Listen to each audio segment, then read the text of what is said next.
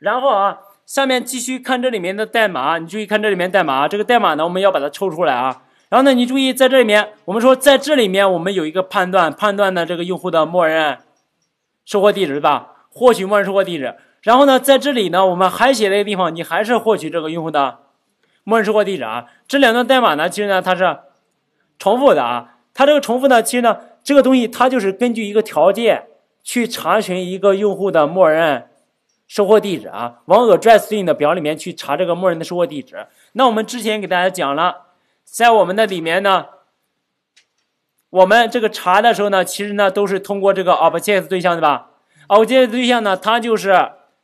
将构框架给每一个类生成的一个管理器对象啊，管理器对象。这管理对象呢，默认的类呢，类型呢是 models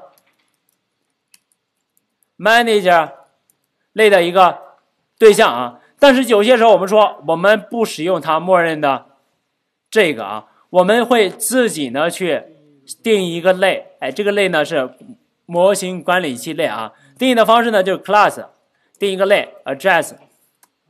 manager 啊，manager 继承于我们的 models 点 manager，然后这里面写的是我们的地址模型管理器类。好，在里面定义完之后呢，我们先不在里面写方法。定义完之后呢，我们不使用它默认的，我们下面呢紧接着自己呢在这个类里面呢去定一个上面这个类的对象啊，就是 objects 等于我们的 address manager 啊，这里面。哎，注意啊，自定义一个啊，自定义一个一个啊，模型管理器对象，对吧？模型管理器对象啊。那么，所以呢，你自己定义完了之后，默认的 objects 就没有了，对不对？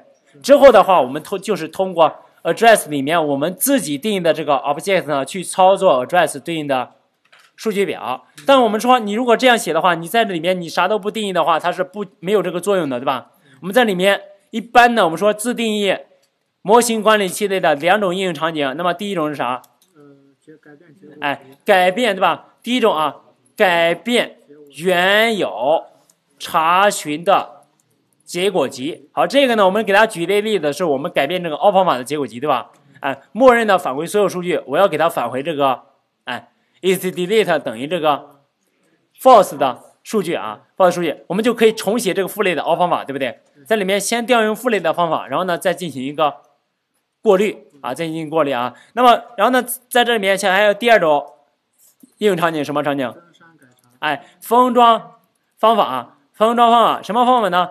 用于操作，对吧？哎，模型类对应的数据表，哎，数据表啊。包括这个表的增删改查，你都可以往里面去写啊，对吧？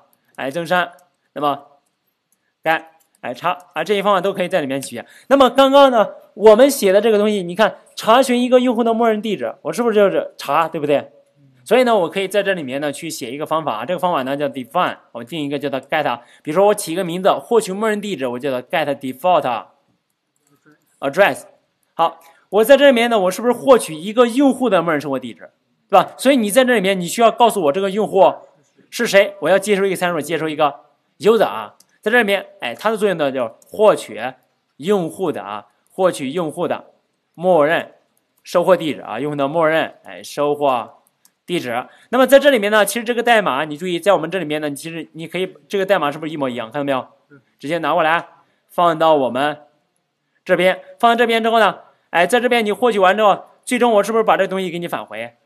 吧，哎，给你返回啊，return address 啊。如果我查到这个默认收货地址的话，你有的话，我就会把这个地址对象呢给你返回。如果没有的话，这个 address 呢就是 no，哎，我给你返回的就是 no 啊，给你返回的就是 no。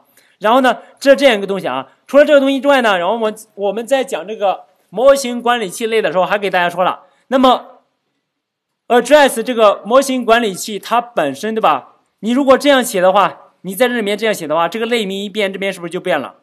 对吧？哎，这边就得变啊。那我们给大家说，模型管理器对象里面的这个 self 呢，它有一个属性，哎，self 点 model 啊，self 点 model，哎，它的一个作用呢，就是获取 self 对象所在的模型类。好，那么有了它之后，我们这里面所有的地方，这个 address 是不是都可以替换了，对吧？self 啊，直接是所有的地方啊，直接是我们的 self 点 model，哎，这个呢也替换为这个 self 点 model 啊。好，把它改完之后呢，下面我们要调这个方法的时候，我们怎么调的？是不是 address 点 object 点 get default address 对吧？default address 啊，default address。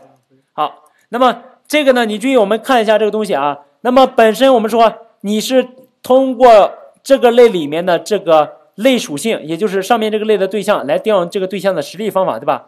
调的时候我们说这个 self 是谁？是不是就前面这个 object，对吧？前面 object 就这个 self 对象啊。然后呢，self 点 model 获取 self 所在模型类 object 是不是在这个类里面？所以呢，你这里面是 self 点 model 就相当于这个 object 啊。然后呢，self 点 model 相当于这个 object。我们刚刚给大家说，这个 self 是不是就是这个 object？所以呢，你在这里面，你 self 点 model，你又点这个 object，是不是重了？self 本身就是啊，所以前后面的这些呢，直接删掉啊，直接就是 self 点 get 啊，因为 self 本身就是这个类的一个对象，所以呢，它可以直接调用我们继承的父类里面的这个 get 方法啊，继承的 manager 类的 get 方法。好，最终我们这个代码呢，写成的就是。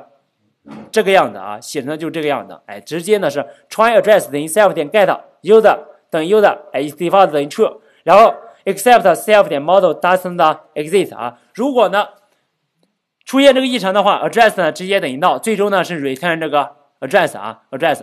OK，那么把它写完之后，对吧？所有我们视图里面出现要获取这个默认地址的时候，我就可以呢直接把这个东西呢给它注释掉，对吧？注释完之后，我这这里面调的时候呢，直接调我们这个方法 address 点 objects 点 get default address 对吧？default address 啊，传入一个参数就是传入这个 user 啊 user 好，最终接一下这个返回值。那么这个返回值呢，现在就查到给你返回一个地址地址对象，查不到返回一个 no 啊。下面代码不需要动。好，同样的道理，然后呢到这个地方呢查询这个默认地址的时候，也是的把它呢直接注释掉。哎，注释掉之后，还是呢调用我们这个方法，直接呢就是 address 等于 address 点 objects 点 get default address，然后呢传入一个 user 对吧？哎，传入 user 之后呢，我们下面呢就看一下啊，重新去刷一下这个页面，你看这个地址能不能显示啊？直接一敲回车，哎，看到没有？一敲回车，哎，是不是一样的显示？对吧？哎，这就是它啊。那么你在这里面你去敲这个东西的时候，一样的显示啊。这里面呢就相当于我们给大家做了一个方法的。封装啊，方法的封装，这个东西的作用呢，就是在获取这个用户的默认收货地址啊，收货地址。哎，这就是我们之前给大家讲的这个管理器类的一个作用啊，自定义管理器类的第二种应用场景封装方法啊，封装方法。OK 啊，这是它。